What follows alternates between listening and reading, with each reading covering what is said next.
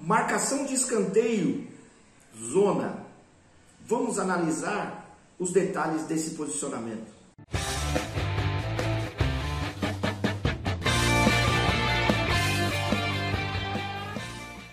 Vamos analisar agora um jogo da Liga Nacional de 2021 entre a equipe do Foz do Iguaçu contra a equipe do Campo Mourão. Então nós pegamos um posicionamento defensivo de marcação no escanteio, uma marcação zona do Foz do Iguaçu, para a gente analisar os detalhes. E nós vamos ver que tem um detalhe que vai fazer toda a diferença na finalização da jogada.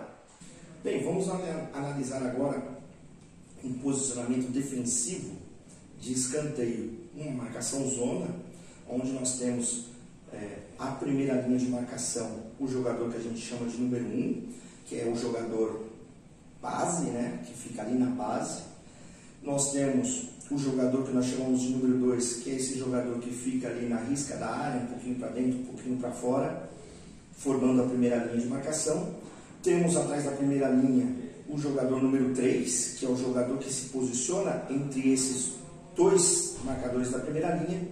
E temos na terceira linha o fixo. Geralmente se usa o fixo ali, que é o jogador que fica por último para marcar a bola de segundo pau pegar voleio de fundo enfim, esse é o posicionamento zona, né? e a gente é, é, vai reparar aqui que os jogadores, principalmente o jogador número 2 e o número 3, eles ficam completamente virados, né? eles ficam virados para a bola.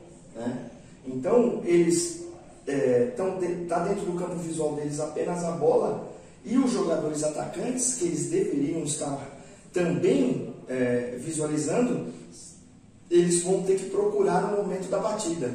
Então, é, é melhor que esses jogadores se posicionem um pouco mais de lado para que eles possam trabalhar o pescoço e aumentar o seu campo visual e poder controlar é, a bola e o jogador que ele tem que marcar. Então vocês vão ver que na sequência da jogada o gol acaba acontecendo porque é, a bola acaba rebatendo e até esse marcador encontrar o jogador que ele deveria estar marcando, demora um tempo e o ataque se aproveita muito bem disso e acaba definindo em gol.